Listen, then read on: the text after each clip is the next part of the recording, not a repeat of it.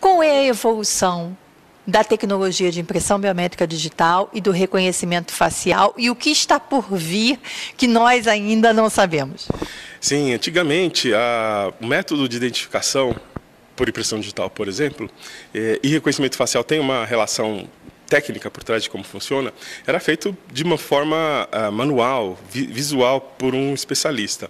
Hoje tem modelos matemáticos que conseguem transformar o que é uma grandeza ótica, padrões de linhas ou pontos nodais da face, para um, uma uh, grandeza numérica que computacionalmente é tratada. Antigamente, isso, é, para se identificar positivamente uma pessoa, levava-se um, um, tempo muito grande para fazer uma pesquisa é, compreensiva num, numa, num arquivo de papel. Hoje, com o computador, esse é muito mais rápido. O que está por vir, é, com o advento de capacidades de processamento cada vez mais avançadas, mais velozes, é o é a inclusão de é, equações no algoritmo que realizam o match, ou a comparação, é, para que se a, a melhore ainda mais a precisão e o tempo de resposta, que é o que se buscou quando com a modernização. Hoje os processos de identificação são instantâneos, praticamente instantâneos, comparado com antigamente, e com uma precisão extremamente grande. E qual é a estrutura que se precisa? Por exemplo, a estrutura é a mesma para uma empresa privada e para o governo ou as estruturas são diferentes?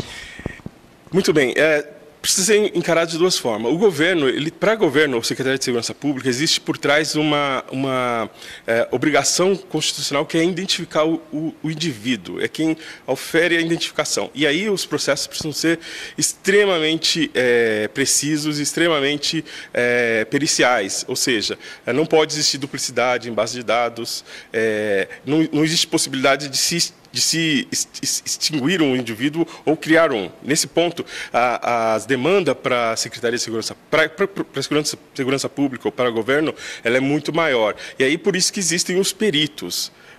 Já na iniciativa privada, a possibilidade de perda de, um, de um, uma identificação, por exemplo, de reconhecimento facial se perder a, a, presença de um cliente, isso não vai causar nenhum dano maior a nenhum processo. Então, resumindo, a, a, a iniciativa privada pode assimilar, ainda que em escala muito pequena, dado que a tecnologia é avançada, para ser usado em qualquer âmbito, é, a iniciativa privada não conta com peritos e uh, pode assimilar alguma, alguma é, é, não diria deficiência, mas alguma é, falta de, de, de, de um sistema. Nesse modelo que você coloca, principalmente no governo, onde tem a necessidade do perito, você tem o ser humano interagindo com a tecnologia. Como que isso acontece, como que as empresas que fornecem solução de segurança, como é o caso da NEC, elas atuam para que essa interação homem e tecnologia funcione e nos permita trazer essa informação em tempo real? Ok, em, em qualquer caso, seja na identificação por impressão digital ou reconhecimento facial, existem terminais de verificação, são terminais especializados com software é, especializado que apresenta para o perito ah, as relações entre os pontos característicos ou minúcias de uma impressão digital ou os artefatos de um, uma pose Uh, facial, uma pose uh, de, de, um quadro de rosto, e ele consegue fazer, por, utilizando métodos científicos, a, a relação é, e, e, laudar isso de forma é, definitiva, com relação a uma identificação ou mesmo uma tentativa de fraude. Essas exceções são tratadas pelo perito que eu me referi na questão anterior, a iniciativa privada ela pode se dar ao luxo de não tratar exceções, porque não, não, não causa nenhum problema maior nas suas operações. E aí ela naturalmente dispensa o, o, a necessidade de quadros funcionais de peritos é, posopográficos para face ou peritos papiloscópicos para impressão digital, que, que é um, um recurso significativo. Como que funciona? O reconhecimento facial é uma questão que sempre desperta muita atenção, a gente tem os filmes. Como é que ela funciona?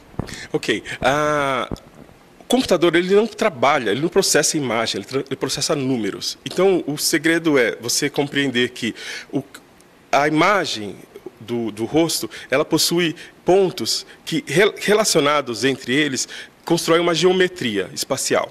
Essa geometria espacial, qualquer sistema geométrico, eles são números que representam sentidos, de, é, vetor, e, e, com isso o computador consegue uh, fazer o processamento por meio de algoritmos inúmeros métodos para estreitar ao máximo a lista de seus candidatos, até o ponto de que você tenha um único candidato. Então, a forma com que o sistema uh, computacional uh, processa a relação entre uh, propriedades numéricas convertidas de propriedades óticas, como a, as, as, linhas da impressão digital ou os pontos característicos da face, é, se dá por meio de, é, principalmente, relações, ou seja, distância entre um ponto e outro, por exemplo, na face, distância entre os olhos, o ângulo entre a linha imaginária que se tem entre os olhos e o orifício do nariz, a, a, porção externa dos lábios. Isso se constrói, se uma constrói um modelo matemático, uma representação numérica dessas, dessas, desses valores que se constrói um um template, chamamos de template. Esse template ele pode ser comparado com uma base de dados muito vasta e, e, e de forma a se produzir uma, uma lista de candidatos muito reduzida ou um, um, um único candidato. Nesse modelo, quer dizer, a gente está vendo reconhecimento facial, ele veio para ficar? Sem dúvida. Eu digo sempre que, é, matematicamente, esses modelos, essa proposta, ela não é, não é muito é, nova, ela já é antiga. O que ocorre é que, ah, recentemente, sistemas de computadores com quantidades muito grandes de unidades de cálculo, que são núcleos computacionais, é, é que permitiram se a em tempo hábil, ou seja, para que de maneira instantânea se dê a resposta da identificação positiva por qualquer método é, de imagem, fácil ou impressão digital, esse processamento que é massivo, ele possa ser é, dado em tempo útil. E como eu falei, na sua questão anterior, uh, o que está por vir é que uh, existem métodos matemáticos mais avançados, só que se eu incorporar hoje, com a tecnologia de computadores que tem hoje, eu não vou ter o tempo de resposta satisfatório.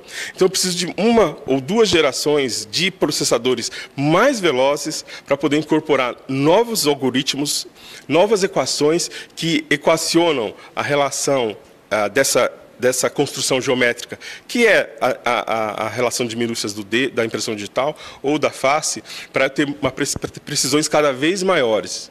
Você pode me dar um exemplo de um case onde você já tem o uso mais efetivo do reconhecimento facial? Olha, um case que eu gosto muito de, de de mencionar, que foi um, um, um ensaio, na verdade, foi o, o, teste do, feito com as imagens coletadas na, no atentado da Maratona de Boston.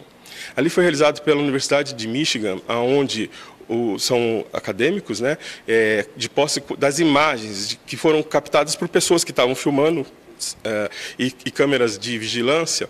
É, e foi feito um teste com seis imagens de cada um dos dois irmãos, uh, numa pesquisa de base de dados bastante grande, com mais de 100 mil fotos.